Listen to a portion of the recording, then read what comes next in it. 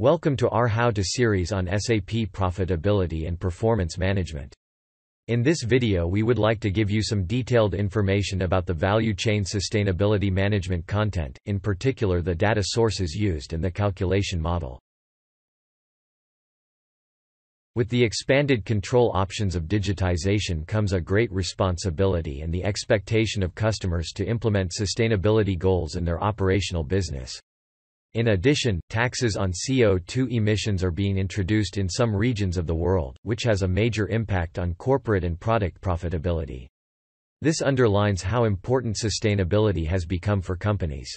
The value chain sustainability content shows how you can measure, manage and minimize the carbon footprint of your company, your suppliers and customers down to the detailed product level.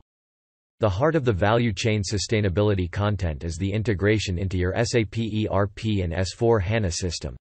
From there, the information is obtained at the individual document item level for the calculation of the carbon and energy footprint along the value chain of your company.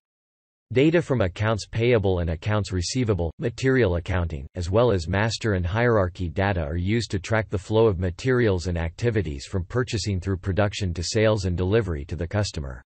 External life cycle assessment data, sensor data and manual entries complete the database, on the basis of which the carbon and energy calculation and allocation per product and production step is carried out. The detailed results are then available for reporting and what-if simulation. Starting with the raw materials across all production steps, the delta additions to CO2 and energy are calculated and allocated until the consolidated result per product is finally determined. This gives customers a precise answer to the question what is the consolidated carbon and energy footprint per product? Controllers get a new perspective on the profitability and costs of their product portfolios, including CO2 and energy costs.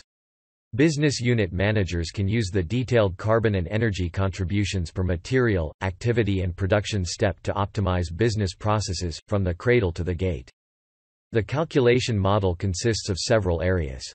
In the Integrate Data Sources area, the relevant company data, the secondary environmental data such as input-output tables from the OECD as well as the fine-grained product and process data are read.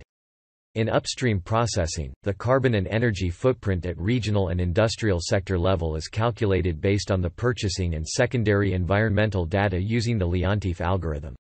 In downstream processing, carbon and energy footprints are calculated at regional and industrial sector level based on sales and secondary environmental data using the Ghosh algorithm. In corporate operational processing, the relevant accounting data are classified with regard to their greenhouse gas scope.